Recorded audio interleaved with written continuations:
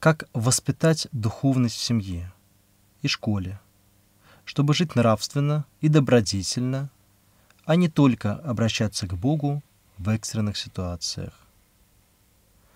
Но действительно, каждый верующий человек, конечно же, хочет вот этим главным сокровищем своей жизни поделиться с детьми. Да не просто поделиться, а так, чтобы дети это восприняли. Самая большая скорбь для верующего родителя — это видеть, что дети уходят от веры, уходят от церкви. А самая большая радость — это видеть, что дети восприняли веру от родителей, живут ею, строят свою жизнь именно на основании тех принципов, которые исходят из нашей веры. И вот такое э, желание, чтобы дети были воспитаны в и нравственно, и духовно, как нас вот вопрошают, оно, конечно, характерно не только для сегодняшнего человека, но и для всех верующих людей во все времена. Вот еще автор книги «Притч» пишет, обращаясь к читателю, вот как отец к сыну. «Сыне мой, наставление моего не забывай, и заповеди мои да хранит сердце твое, ибо долготы дней, лет жизни и мира они приложат тебе». Сын может забыть, а может не забыть. Он подрастет, станет взрослым человеком, и у каждого человека есть свободная воля. И невозможно, э, нет такого механизма, чтобы вот навязать ребенку эту правду, эту истину веры. Можно просить его, не забывай, как вот это делает автор книги притч, и объяснять ему, почему нельзя забывать. Потому что, если ты будешь помнить эти наставления, то многие годы жизни и, главное, мирной жизни. Эти убеждения тебе дадут. Речь, конечно, идет не о внешнем мире, потому что может и война случиться, и какой-то конфликт случиться. Речь идет о внутреннем мире.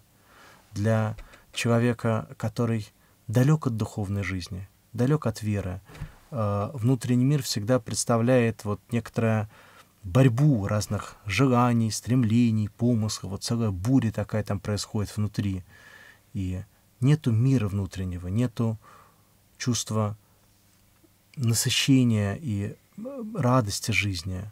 Вот даже если все хорошо, вот все равно вот что-то внутри вот человека борется, разные страсти там вот горят, э, крутятся. А если человек вот стяжал настоящую духовность, то сердце его становится сердцем мирным. И вот об этом и говорит автор книги притч. И как же все-таки передать это детям? Вот такого механизма, который точно сработал бы на 100%, не существует, потому что ребенок потом становится взрослым, и каждый человек имеет свободную волю. Это неотъемлемый дар Божий человеку. Даже у святых людей может родиться ребенок, который подрастет и откажется от того, что видел в жизни своих родителей. Но повысить эту вероятность все-таки можно. Как можно? Ну, у нас есть две возможности. Первая и, может быть, менее значительная возможность, менее результативная да, такая тактика состоит в том, чтобы рассказывать ребенку о своей вере словами, как можно чаще напоминать ему о каких-то очень важных основах. Но это очевидная и не очень результативная тактика, она совершенно бессмысленна, если мы сами этим не живем. Поэтому вторая вот составляющая настоящего воспитания — это своим примером, своей жизнью показывать, как принципы веры воплощаются в реальной жизни. Если дети видят в родителях, что дает им вера, то они, даже если ничего им не объяснять, будут задаваться вот этим вопросом, какие все-таки удивительные люди были мои родители, какие радостные, светлые, чистые, как к ним другие люди тянулись, какие они были любящие, как отзывались на скорбь и нужду других людей, какие они были стойкие и несгибаемые, какая вот удивительная внутренняя духовная сила в них была. И даже если ничего не говорить и не объяснять, вот дети будут к этому тянуться. Но если объяснять и не показывать такого примера, то тогда этим объяснением, конечно, грош цена, и это пустые слова. Поэтому, если вот мы задаемся этой целью, воспитать детей нравственно, чтобы они жили добродетельно, а не только обращались к Богу в экстренных ситуациях, то прежде всего надо обратиться к своей собственной духовной жизни. Если я говорю языками человеческими и ангельскими, а любви не имею, то я как э, кимвал звецающий, говорит апостол Павел. Нет цены таким словам, даже если их очень много и они очень правильные. А если я имею любовь, если эта любовь явственно выражается в моих поступках, вот тогда слова обретают силу. Почему за Господом шли такие толпы людей, так прислушивались к Нему?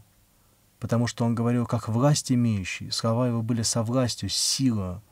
В чем эта сила состояла? В том, что Он жил тем, что Он говорил, и это всеми ощущалось. А вот слова книжников, фарисеев, тех, кто э, спорили со Христом, это были пустые, мертвые слова, потому что они не были э, основанная на реальной жизни, на реальной духовной жизни. Вот э, будем, э, стремясь передать опыт веры своим детям, прежде всего жить этой верой.